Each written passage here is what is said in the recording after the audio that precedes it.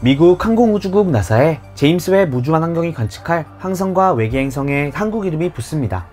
국제 천문연맹이 진행한 외계행성 이름짓기 공모전에서 항성 WD-0806-661과 외계행성 WD-0806-661b에 마루와 아라가 각각 선정된 것인데요. 마루와 아라의 이름을 제안한 이들은 동덕여고에 재학 중인 이지우, 김수민, 김도현 학생. 이들은 항성과 외계행성 이름으로 하늘이 연상되는 단어 마루, 바다가 연상되는 아라로 지어 천문학을 통해 환경 문제를 함께 생각해보고 싶어서 제안하게 되었다라고 밝혔습니다. 이름은 앞으로 과학적인 명칭과 함께 고유 명사로서 영구적으로 사용될 예정입니다.